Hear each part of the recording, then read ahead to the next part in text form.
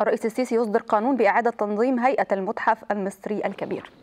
آه. تعليق حضرتك برضو على إعادة التنظيم والهيكلة لقيمة أو لمكان بحجم قيمة المتحف المصري. شوفي ويعني مصر بتتمتع بشخصية فريدة خاصة فيما يتعلق بالتاريخ الأثري. إحنا مقدمين على إن شاء الله بإذن الله افتتاح المتحف المصري الكبير. طبعا. وده تم اختيار الموقع بتاعه بعناية وتم أيضا الاعداد والتجهيز بشكل يتناسب مع الحضارة ومكانة مصر وأيضا الحداثة. ده فيما يتعلق بالموقع. أما فيما يتعلق بالتنظيم آه ما فيش شك إن آه يعني كل حقبة زمنية آه في حاجة إلى تطوير وتقنين الأوضاع.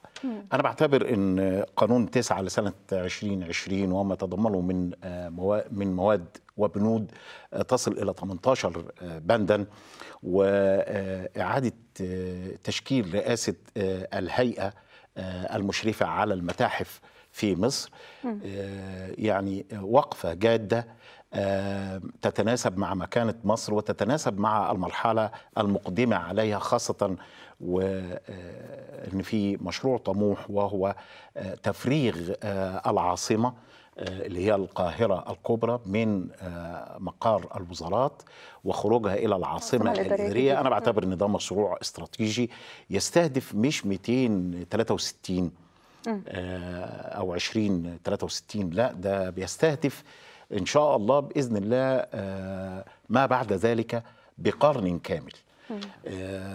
لأن تم الإعداد للعاصمة الإدارية بشكل جيد تم التخطيط لنقل الوزراء على مراحل وتفريغ القاهرة الكبرى لتكون مزارات سياحية ترتبط ميادينها بشكل أو بآخر مع تاريخ مصر المعاصر والقديم والحديث أيضا. طبعا لأن كان بدأ العبث كمان بالمناطق السياحية والأثرية اللي في مدينة القاهرة نعم. القاهرة الخديويه والآثار الإسلامية والقبطية اللي موجودة في القاهرة فخف الضغط والازدحام والتخطيط كمان بشكل سريع للعاصمة الإدارية الجديدة تخطيط جيد وسريع غير كده كمان يعني لابد أن يراعى أو نضع نصب عينينا دايما. حكمة القيادة السياسية في إيه؟ طبعا. الامتداد العمراني بيصحبه دائما وابدا امتداد عشوائي. بمعنى حالة نزوح أو حالات نزوح سكاني بيغير طبيعة المناطق إلا ما نظر. يعني جزيرة زي الزمالك. لا يمكن يحصل فيها عشوائيات. ليه؟ لأنها منطقة محددة منضبطة مقسمة مخطط لها مسبقا ما فيهاش فوارغ ما فيهاش مناطق تسمح بالعشوائيات تسمح بالعشوائيات آه. لكن العاصمة الإدارية وامتداداتها تم التخطيط ليها بشكل يجعلنا نستنسخ هذه الفكرة والرؤية لاستخدام مستقبل مشرف في العاصمة الإدارية الجديدة. يعني مش هيحصل مثلا زي ما بيحصل في الخصوص أو زي ما بيحصل في أي مكان من المناطق العشوائية على طرح الطريق السريع أو المحور. آه صحيح. الدنيا هتتغير. طب. ما يبقاش في امتداد عمراني إلا بضوابط ووفقا لما هو مخطط له في المساحات والارتفاعات أيضا م. لكن لما تيجي النهارده تمسك الطريق الدائري وتشوفي حجم العشوائيات اللي على جانبي الطريق يعني وأنا على سبيل المثال وأنا جاي القناه النهارده أنا يعني انزعجت من أول بهتيم لحد ما وصلنا للقناة عشوائيات وارتفاعات يعني غير محسوبة خطوط الضغط العالي بينها وبين العمارات السكنية. مفيش خمسة متر ستة متر حاجة يعني تثير الانزعاج. طبعا. الدولة فين من الكلام ده كله؟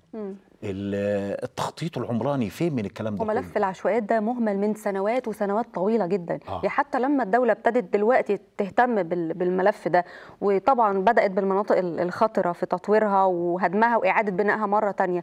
لكن عدم التخطيط العمراني ده أزمة أكبر كمان من العشوائيات. أنا بحييك على إنك أنت قلتي المناطق الخطرة. لأن إحنا عندنا 4440 منطقة عشوائية بتقسم إلى ثلاثة يعني أصناف. الصنف الأول وهو المناطق الخطرة كما اشرتي ودي المناطق اللي يتعين على الدولة. أي دولة. طبعا. أي قيادة سياسية لابد أن تتعامل بشكل فاعل وسريع وعاجل مع هذه المناطق العشوائية الخطرة في المقام الأول. ثم بعد ذلك التي تليها ثم التي تليها. الأقل أهمية هي مناطق الصعيد المناطق العشوائية في مدن ومحافظات الصعيد. دي أقل خطورة لأن اوريدي إحنا عندنا مشكلة اسمها محافظات طارده للعمالة أو طارده للثروه البشرية المتواجدة على أي على أراضيها. الثروة البشرية دي لما بتهجر مناطق في الصعيد بتروح لفين؟